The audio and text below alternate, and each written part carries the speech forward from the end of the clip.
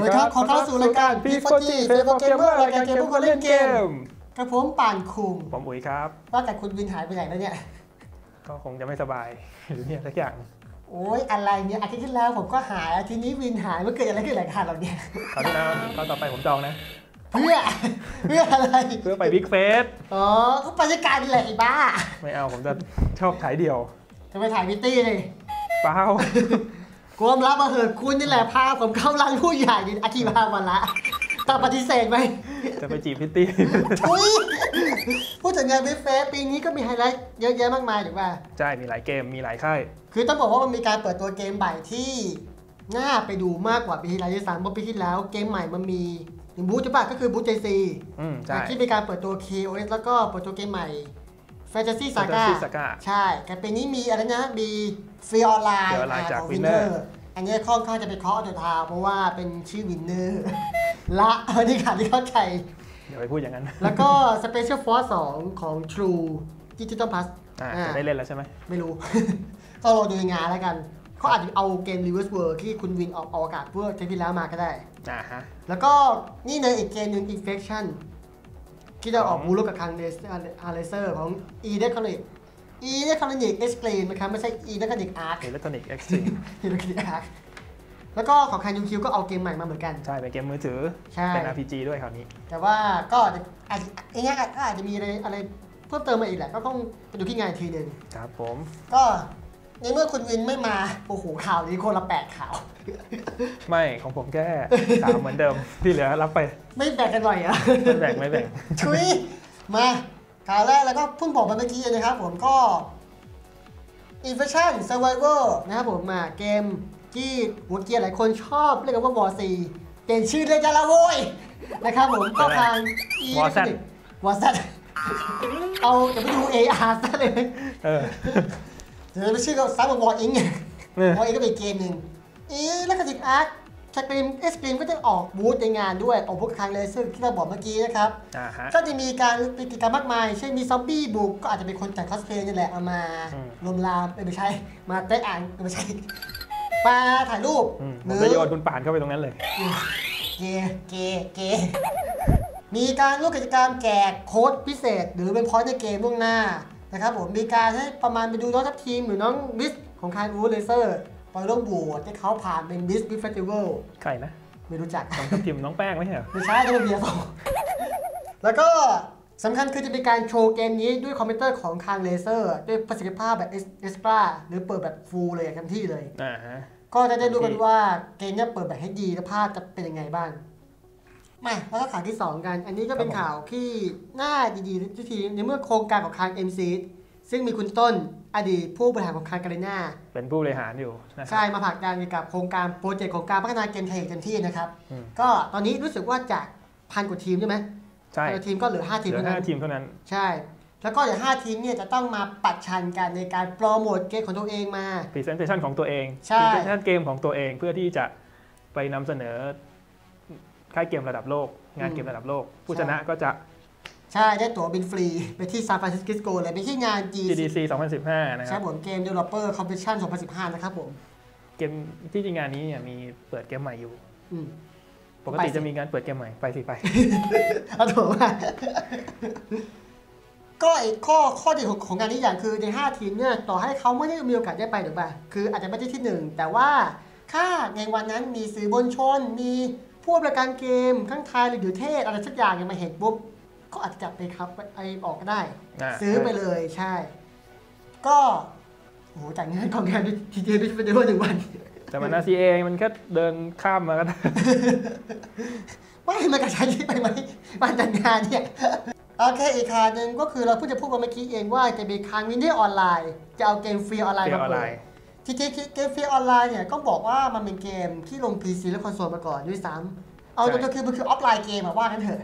เออแล้วมันเป็นออนไลน์ได้ไงที่ที่เของโปรเจกต์ออนไลน์เนี่ยคือค่ายวอเตอร์บอลกับค่ายอินดี้เอ Inplay ที่เป็นผู้พัฒนาเกมเนี่ยเขาจับมือร่วมกัน จริงๆไม่จับมือร่วมกันหรอกไอ้สองค่ายเนี่ยเขาทำภาคสามมาแล้วไงแล้วเขาเลยเห็นว่าไอ้โหมด multiplayer ของภาคสามเนี่ยมันเจ๋งก็เลยจะมาทำเป็นเปิดเซิร์ฟเวอร์เกาหลี แต่คือจริงๆขายข่าวไปแล้วนะ แล้วจู่ๆก็เงียบหายไปเลยอะละลายหายไปเลยเว็บไซต์ก็เปิดไม่ได้ จนไปโผล่มาที่ที่ที่ที่อเมริกา อาจจะเป็นไปได้ว่าเขาอาจจะเห็นว่าเซิร์ฟเกาหลีเนี่ยคงจะไม่เหมาะกับเกมนี้ ก็เลยไปเปิดที่อเมริกาอ่าแล้วเป็นไงมาไง Winner ถึงมาฉกไป ก็ไม่ทราบเหมือนกันแต่ว่าจริงๆถามว่าเกมมันน่ากลัวมันจะยังไง ต้องบอกว่าก่อนว่ามันเป็นเกมเนี่ยยิงธรรมดาเลยแหละอืมแต่ว่ามีมีความหลอนใช่มีความมีฉากสะดุ้งก็เอาเป็นว่าเปิดเสียงดังๆนะครับ ก็ประมาณเนี้ยเขาเลยเกณฑ์หรือยังเนี่ยคือมันอาจจะมีประมาณมีอาเจอาม่าดีมีหม่อมแม่อย่างจะจู่อืมๆมาให้เราสะดุ้งแบบไม่รู้เรื่องรู้ราวอะไรประมาณนี้อืมอยู่ดีมันโผล่ขึ้นมาเอ๊ะมันก็โผล่มาแบบหลอนๆไม่ได้โผล่ขึ้นมาทางข้างล่างข้างบนนะมันก็โผล่อยู่ดีออกมาเลยอะโอ้ยออกมาเลยอะไม่ออกไม่ข่าวอะเออก็คนไหนที่จิตแข็งนะก็อยากจะลองเล่นเกมนี้ก็อย่ามาลองเล่นกันนะนะครับผมกำหนดการที่ Winner Online เอ้ยไม่ใช่ที่บูธ BIG Festival ก็จะว่าอ่าแชร์ที่ Festival ก็จะมีให้คนลองเล่น จะเป็นที่เซิร์ฟ Steam เซิร์ฟของอเมริกาเอง หรือจะเป็นเซิร์ฟแท้ของเซิร์ฟไทยก็หรือว่ากันทีที่ที่งานนะครับ ครับผมโอเคพีซีนะพูดสักคำค่ะก็ไม่สลับกันเลยอะคราวที่แล้วไม่ได้พูดอะทุยอะยอมยอมอะเกมนี้นะครับผมเป็นเกมแนวสร้างเป็นการเรียกระดมทุนของอดีตผู้สร้างเกมระดับมือพระกาฬอืมไม่ว่าจะเป็นทีมออกแบบ art director ของ BioShock Halo ไอ Halo Guitar Hero หรือ Rock Band Series ได้มาจับมือร่วมกันนะครับผมในการสร้างเกมใหม่เป็นเกมอินดี้อืมเกมนี้ครับการเปิดระดมทุนที่โครงการของ Kickstarter ซึ่งเป็นเว็บไซต์เปิดระดมทุนของการทำโปรเจกต์อะไรบางอย่างขึ้นมาเนี่ยแล้วก็ให้คนเข้ามาเห็นว่าเอ้ยโครงการนี้น่าสนใจพวกก็บริจาคเงินเข้ามา เขาก็การเงินทุนในการบริจาคทำเกมนี้1 5 0 0 0 0ดอลลาร์ตอนนี้ได้เท่าไหร่ละได้ยังเหลืออีก68,079ดอลลาร์อ่า โดยทั้งหมดนั้นคุณป่านจะไปคนเดียว เพราะคุณป่านอยากเล่นมากอ่าเหตุเกี่ยวกับเกมนี้จะเป็นการบอกเล่าเรื่องราวของโลกที่หลังหายนะน้ำท่วมโลกขนาดใหญ่ทำให้ประเทศอเมริกาล่มสลาย เราจะได้เป็นตัวเอกสาวที่ชื่อว่าสเกลซึ่งมีทักษะของการเอาตัวรอดแบบลูกเสืออืมต้องยืนรอดตัวรอดข้ามกลางน้ำท่วมต่างๆกันานาอืมโดยปีคู่หูคู่ใจเป็นสุนัขที่ชื่อว่าอีศบนะฮะลูกเสือกับลูกหมานะครับ ใช่ประมาณนั้น ก็ผ่านลำน้ำที่เซี่ยวกราดซึ่งทางทีมพัฒนาเขาบอกมาเลยว่าเส้นทางของการขี่เรือพายเรือผ่าน เส้นทางนั้นก็เคี้ยวเนี่ยจะถูกสุ่มมาไม่ซ้ำกันคนเล่นจะต้องทำการ craft สิ่งของหาทางตัวรอดหาอาหาร หาประทังชีวิตตัวรอดตัวแล้วก็ก็แล้วก็ศัตรูของของเกมนี้คือหมาป่าผู้หิวโหยก็จริงๆกำหนดการของเกมเนี่ยจะปล่อยประมาณเดือนกรกฎาคมปีหน้าอืมก็คนไหนที่เห็นว่าเอ้ยสนใจก็ไปช่วยกับบริจาคได้นะครับครับข่าวต่อไปอันนี้ก็ Final Fantasy นะฮะ Final ใช่ Final เราก็มีเยอะแล้ว เดี๋ยวผมก็มี Final เนี่ยอ่าสามขาเลยครับสาม Final เลยFinal แรก มีคนไปเจอเพราะว่าที่เอมาซอนของทางสเปนประเทศสเปน ลงข่าวบอกว่าฟ i น a l แฟนซีไคซีโร่จะวางขายเวอร์ชัน PC ว่ามาคุณอุ๋ยจริงๆ มันเกมมันเคยลงบนมือถื PSP อมาก่อนใช่มือถือที่มือถือก่อน แล้วก็ PSP ก่อนอ่า PSP ในชื่อนี่แหละ Type Zero อืมผมว่ามันก็ไม่แปลกที่มันจะเร็ว คือไม่แปลกใจใช่ไหมคือว่าจะมาลง PC เร็วอย่างนี้ อ่าใช่ แต่แต่โซนอื่นมันยังไม่ออกทำไมมันไปคือเป็นผมที่สข่าวมันเปไปนโผล่ที่สเปนเออนั่นใช่แหละแล้วประเทศประเทศสเปนก็เป็นประเทศเดียวด้วยนะแต่อย่างว่าคืออเมเอมาซอนเนี่ยจริงๆบางทีก็ชอบเอาข่าวลงบางทีก็เอาข่าวออกเฉยๆก็มีก็เราจะต่อไปว่าวันที่ 20 มีนาคมปีหน้าจะขายจริงหรือเปล่านะครับ อีกข่าวฟันตาซอนเอ้ยอีกไข่ฟันตาแฟนซีอีกข่าวหนึ่งไฟจะซ่อนเจ๊เครียดถ้าถ้าเกิดเจ๊เครียดเจ๊ที่สุดก็มาสตรีมแล้วอ่าใช่ ว่าว่าคือตอนนี้คือวางจำหน่ายแล้ว คือจะไม่เลยไม่เลยคือจะบอกว่าตอนแรกๆเนี่ยเขาบอกว่าจะใช้พื้นที่ 30 กิก แต่โหลดได้จริงๆ49 กิก มันมาจากไหนอีก19 กิก มันมาจากไหน ขยะหรือเปล่าจะบอกว่าเสียงภาค เสียงภาคมันก็ไม่ได้จะใหญ่ขนาดนั้นนะ เฮ้ย แต่เพย์สามเนี่ยมันเอาบูเลบูเลมัน 50 กิกนะโอ้ก็เป็นไปได้เอ้า50กิกแล้วมันมันเหลือ30กิกอะเอิ่ มมันใส่ขยะเข้าไปเนี่ยเมทัลไอเมทัลเกียร์ของภาค รู้สึกจะภาคที่แล้วภาคสี่อะภาคสี่บูเลใส่ไม่พอเขาบอกอย่างนั้นเหรอ เพื่ออะไรเนี่ย ไม่รู้ ก็คือมันมีอีกประเด็นหนึงก็คือมีคนเขาบอกมาว่าจริงๆเนี่ยภาคเนี่ยมันเริ่มต้นรองรับหน้าจอขั้นต่ำสุดก็คือ 1280คูณ 720p ขึ้นพันไปสองแปดสิบคือหมายความว่าหน้าจอต่ำกว่านี้จะเล่นไม่ได้แต่จริงๆผมว่ามันก็ไม่น่าจะมีคอมพิวเตอร์ที่ จะไม่เก่าขนาดนั้นขนาดนั้นมาเล่นเกมระดับนี้นะยกเว้นว่าคมจะเป็นร้านป่านเนี่ย เออเขากูกากกูรู้ก็ก็จะคิดอยากจะลองดูก็ขายแล้วบนสตรีม 507 บาท มาครับไม่เจ็ดบาทอืมโอเค อีกข่าวหนึ่งเมื่อกี้คุณพูดของเมคเกียร์ใช่เมทัลเกียร์สี่อันนี้ใช่คือเมทัลเกียร์กับซีโร่5ใช่ในที่สุดก็ประกาศวันว่าจำหน่ายของ PC แล้วนะครับผมหลังจากที่อืมครับก่อนหน้านี้คารโคจิมะบลัดเจ้าของคารโคนามิ เขาเขาเอาเขาเกิดออกมาว่าจะเป็นคารคำบน PC ด้วยอ่าฮะอ่า18ธันวาคมนี้เต็มตัวมาเล่นกันนะครับผมกับกี่บาท Zero ไม่ทราบเซ็ตไปเท่าไหร่กูไม่รู้ จริง ๆ เกมเนี่ยเออคุณโคจิมะเคยบอกว่าเขาจะปล่อยฟรีให้โหลด จริงเดแต่ว่า คือจริงๆคือมันไม่ใช่เกมจริงอะเกมจริงมันคือมันคือแฟนตอมเพนอะตัวจริงคือแฟนตอมเพนแล้วเขาสร้างกาวซีโร่ขึ้นมาเพื่อที่จะดึงเข้าไปในเรื่องของPhantom Pain demo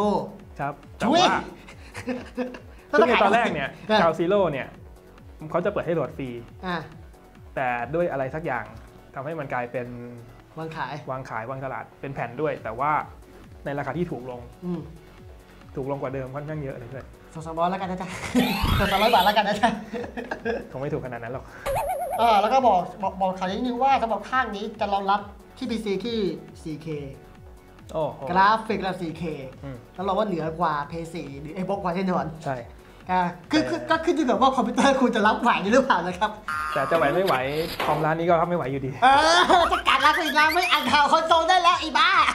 โอ้ยการตัวได้อ่าโอเคครับข่าวคอนโซลนะครับไปเออออย่างรวดเร็วเลยอ่าข่าวแรก Final Fantasy ที่ผมบอกไว้นะครับราแต่คาอันที่นี้3ของที่ทำวันนี้ แต่อันนี้เนี่ยจะเป็นจะอยู่บนมือถือแล้วก็โหลดในโซนญี่ปุ่น อันนี้มันก็เปิดให้โหลดก่อนงานโตเกียวเกมโชว์สองวันเองมั้ง แต่เราก็ไม่ได้สังเกตนะ แต่ในงานก็มีโชว์ให้เล่นกันนะอ่าอาจจะอยู่ในบูธของกรีดแต่เราก็ไม่ได้เข้าไปเจาะลึกอะไรมากตรงนั้น ใช่บนบูธสกอตเอดีไม่มีของแถมเลยอะก็เลยไม่เข้าไป จุดประสงค์ชัดเจน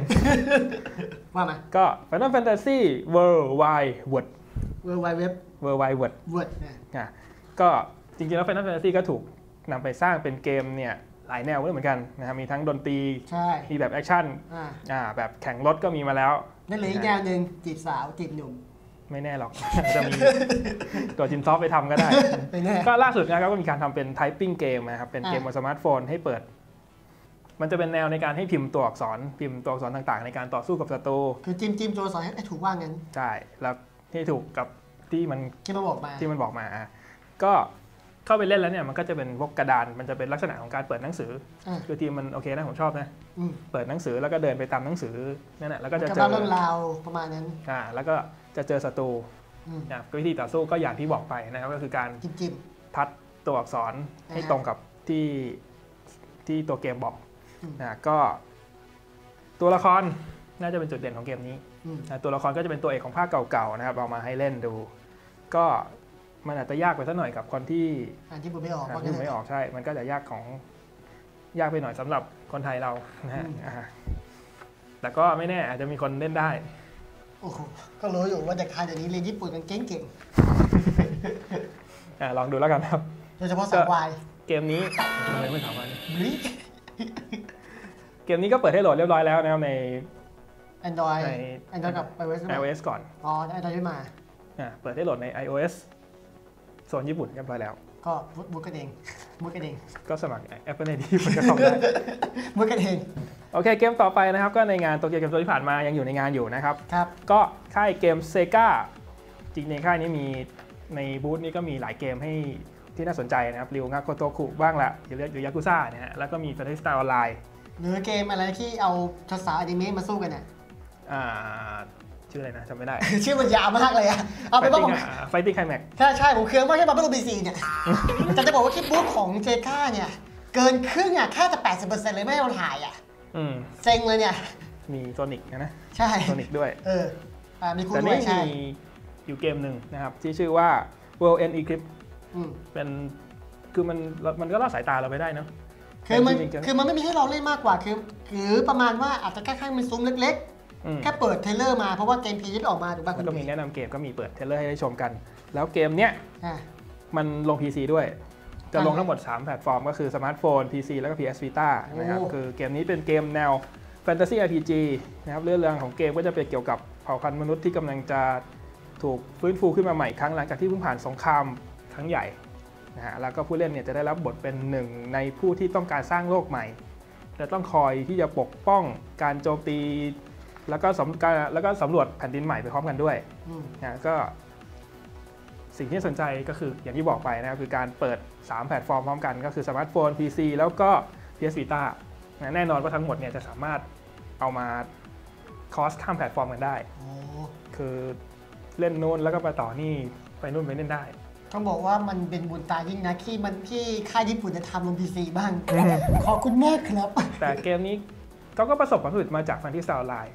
หมายความว่ามันเป็นออนไลน์ ใช่ไม่อ๋ได้อไม่น่าล่ะไม่แปลกใจเลยเพราะฉะนั้น Asiasoft ครับออกมาแล้วครับ ต้องรอดูเขาประสบจะประสบความสำเร็จในประเทศก่อนหรือเปล่าอืมนะฮะต้องลองดูต่อไป ครับผม เกมสุดท้ายครับ ก็ภาคใหม่ล่าสุดที่แฟนๆเฝ้ารอกันมานานนะสำหรับซีรีส์ Makai Senki Disgaea เป็นเกมซิมูเลชัน RPG ยอดนิยมของค่าย Nippon Ichi นะครับ ซึ่งก็มีอยู่เกมเดียวที่ขายได้ เกมเดียวก็เกมอื่นมันโผล่มาก็ดับหมด จริงๆ แล้วเกมนี้ก็ประกาศมาในในในในงานเพจของ Sony ก่อนงานโตเกียวเกมโชว์เหมือนกันนะครับใช่แล้วใช่เกมนี้ก็อืมเราไม่ได้ไปเพราะขี้เกียจไป Exclusive เฉพาะ PS4 อ๋อทำไมต้อง PS4 เชื่อเถอะว่าเดี๋ยวมันจะมา PS4 ตามกันเอ็กซ์คลูซีฟช่วงเวลาบ้างกันเถอะ Exclusive ตาม Exclusive อะนะครับก็จริงๆแล้วปกติเนี่ยเกมนี้จะเป็นเกมที่มีจุดเด่นที่เรื่องราวที่ฮาฮา ฮาเสียงหัวเราะมีแต่เสียงหัวเราะมีตลกเจ็บตัวอะไรมาให้เอ่ออะไรพวกนี้อืมนะมีอะไรชิดจังว่างเถอะอ่าฮะก็แต่ในภาคในภาคนี้มันจะมีทีมเป็นการแก้แค้นและการก่อกบฏอ้าวเนื้อเรื่องมันก็น่าจะทำซีไมเรียสขึ้ทำนไมมันนะตับมันกระลาปรับมันร้อยแปดสิบองศาเนี่เอยอมันซีเรียสขึ้นนะเออก็เนื้อเรื่องของเกมนี้จะเป็นการรวมตัวของเหล่าจอมมารในโลกมารน่ะแต่ละที่ซึ่งทั้งหมดเนี่ยจอมมารแต่ละคนเนี่ยจะมารวมกันเพื่อที่จะต่อต้าน จักรพรรดิมารที่เข้ายึดครองโลกมารอ๋อนะแต่ละคนก็จะมีสาเหตุในการที่จะกลับมาแก้แค้นเนี่ยต่างกันไปอืมก็ภาคนี้ก็จะมีการประกาศว่า มันจะยาวที่สุดในซีรีส์กี่ชั่วโมงเกมเพลย์กี่ชั่วโมงเขาบอกมาไหมตอนผมเล่นภาค2เนี่ย ผมเล่นไป 80 ชั่วโมงจบเรื่องปกติ นั่นคือทำนู่นทำนี่ยังไม่หมดเลยด้วยไม่หมดด้วย แต่แต่ถ้าเกมถ้า RPG ไม่ใช่เรื่องแปลกดีสามเพราะคิดเล่นมันเป็นได้ simulation RPG ใช่ๆใช่ แล้วคือเกมซีรีส์นี้มันจะมีพวกบอสกลางอะไรที่เก่งกว่าหัวหน้าใหญ่อยู่ อ๋อ ใช่เราก็ต้องตามเก็เก็บเลเวลเก็บเลเวลจากตัวละครที่เรามีอยู่เนี่ย เพื่อเอาชนะไอ้นี่ให้ได้ อ๋อ คือมันเด่นที่ตัวเลขของเกมค่อนข้างเยอะ อะ สามารถเก็บ เลเวลได้ถึง 9,999โอ้โหเซฟเถื่อนเออแล้วก็ตบศัตรูทีนึงเซิร์ฟเป็นล้านได้เหมือนกันเซฟเถื่อนเหรอใช่ก็มันมันอยู่ที่เทคนิคการเก็บเลเวลของแต่ละคนนะอะบางคนที่ทำได้บางคนก็ทำไม่ได้บางคนก็เบื่อเลิกไปก่อนก็มีอ๋อใช่ก็ล่าสุดภาคครับ5ของต้องซื้อเพลย์สี่เซฟไปสี่ไม่สารเล่นไม่ได้เหมือนกัน มันไม่ลงไปทำแต่เชื่อเถอะเดี๋ยวต้องมา PC ตามคุณวิมไม่อยู่ ผมต้องพูดสินะ ว่า เขาเรียนแบบเขาเรียนแบบแน่นอนนะครับ กิจกรรมประจำไม่เหมือนไม่เหมือนของเรานะครับไม่เหมือนไม่เหมือนเอาเหมือนเดิมดีกว่า ทั้งหมด 50 เต็มก็ยังมีแจกอยู่นะครับ ใครที่ยังไม่ได้รับก็ทำตามกติกาแล้วก็เข้ามาแล้วกันได้ทางเรามีแอดมินบอกกันอยู่นะครับไม่ใช่บอกดิใครตอบมาอยู่นะครับตะลุงเมื่อกี้มันใครวะฉบับอาทิตย์ที่ก็บทไปแล้วเจอกันสัปดาห์หน้าครับผมทีนี้ก็ต้องขอขอบคุณ DKS Digital Crystal เกมเทพครับจูลปี้สนุก .com Mega X Game Manager Game ครับ ครับผมแล้วก็และร้านเฮียป่าน .com .com ร้านเฮียป่าน .com เหรออ่าเอ๊ะ .com ไม่เหรอมันมี .com ตอนแรกแล้วไอ้พุ่งมา 58 เทปยังไม่รู้ว่ามี .com เนี่ยเดี๋ยวก่อนเนอะไอ้เมื่อกี้ยังเคยไม่หาที่ที่ว่าคอมเราชนะรัสกาดเนี่ยเอ้ากล้องกล้องกล้องแพนหน่อยกล้องแพนหน่อยไม่ต้องแพ้เลยเฮ้ยไอ้กล้องไม่ต้องแพ้เลย